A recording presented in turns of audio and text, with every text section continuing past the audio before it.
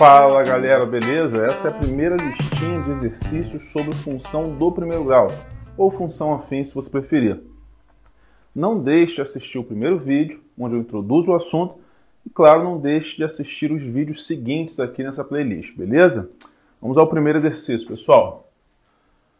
Determinar o valor de k de modo que tenhamos uma função do primeiro grau. Relembre, pessoal, que uma função é do primeiro grau quando tem esse formato aqui, ó, y igual a x mais b. E por que, que a gente diz que ela é do primeiro grau? Porque isso aqui é um polinômio do primeiro grau. Inclusive, a maneira correta de você falar seria função polinomial do primeiro grau, porque função, função não tem grau. O que tem grau é o polinômio. Enfim, mas a gente chama tranquilamente de função do primeiro grau porque fica mais fácil. Podemos chamar também de função afim, tá bom? E o A, pessoal, que é esse carinha aqui que está multiplicando x, é o coeficiente de x, ele não pode ser zero, tá bom? É só isso que você precisa saber. Compare, então, isto aqui com isto aqui, pessoal. Tá claro que, ó, coeficiente de x aqui, ó, esse é o A. E esse aqui é o B, naturalmente, certo? A vezes x mais B. Sendo que o A não pode ser zero. Então, já estamos no formato de função do primeiro grau, ok, e o A não pode ser zero. 2K menos 1, portanto, precisa ser diferente de zero. Passei para lá, 2K deve ser diferente de 1, e ainda 1 dividido por 2 aqui, né?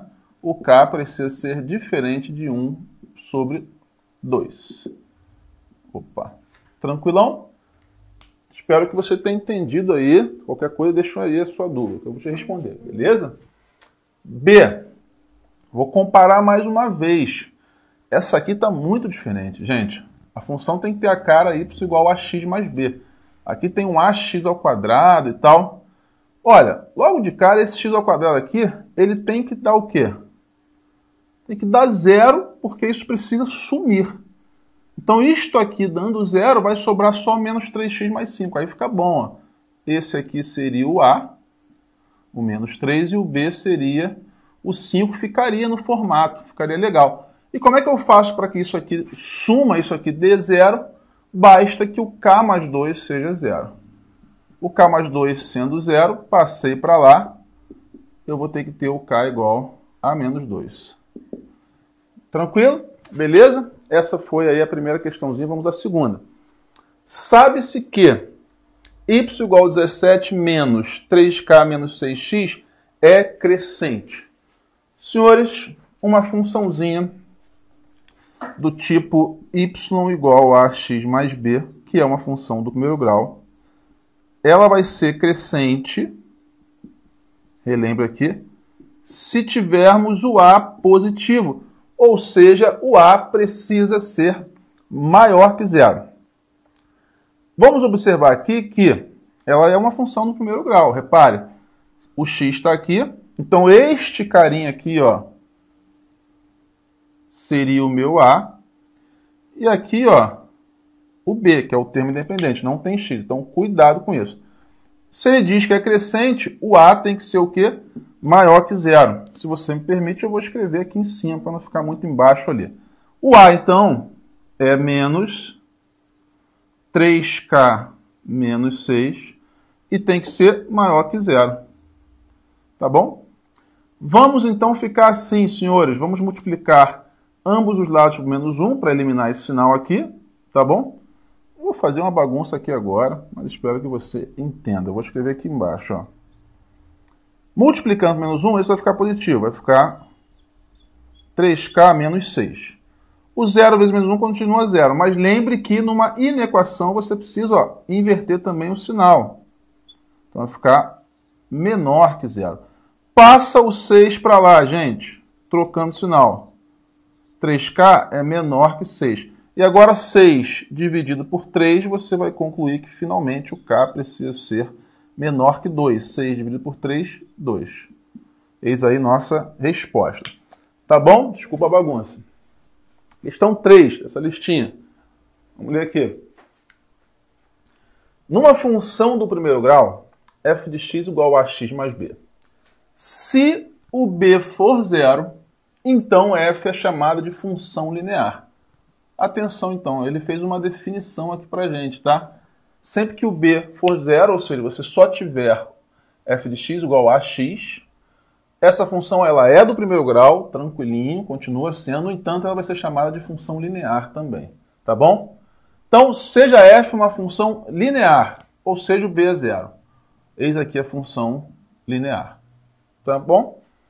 Que passa pelo ponto 3, 2. Então, aqui o x e o y. Dê sua lei de formação. Gente, é só substituir aqui. O x vale 3 e o y vale 2. Ó, troca aqui, ó. 2 no lugar do y. A vezes x, A vezes 3. Com isso, você acha o valor do A. A igual a 2, o 3 está multiplicando, vem para cá dividindo. 2 terços. Então, tínhamos esse formato desde o começo, por ser linear. Ficamos assim, então. y igual a A vezes x. Pronto, tá aí. Muito tranquila a questão, beleza? Entendeu? Se não, só deixar a dúvida aí. Por fim, vamos fazer aqui o gráfico. Ó. Esboce o gráfico desta função. Relembre lá na primeira aula que para você fazer o gráfico de uma função do primeiro grau, você pode selecionar dois valores para x, calcular os valores de y correspondentes, marcando os dois pontinhos e ligando. Pronto, acabou. Ou você pode, vem aqui, ó, extrai a raiz da função. Como é que faz isso? Igual a zero e resolve. Menos x mais 2 igual a zero. Menos x igual a menos 2, passando para cá. Multiplicando menos 1, x igual a 2. Essa é a raiz da função. E a raiz, gente, é a interseção aqui, ó, com o eixo x. Aí você olha para o b, que é esse valor aqui, 2. Esta é a interseção com o eixo y. 1, 2. Olha que maravilha. Acabou. A função vai ser obtida a partir do momento que você... Opa, caiu, está vivo. A partir do momento que você construir aqui a reta que passa por esses dois pontos. Vamos fazer isso? Está lá, ó. Olha que bonitinho. É isso, senhores. Encerramos essa primeira listinha. Vai ter muito mais aí no canal. Não deixe de fazer, ó. Um forte abraço. Se você gostou, deixa o teu curtiu.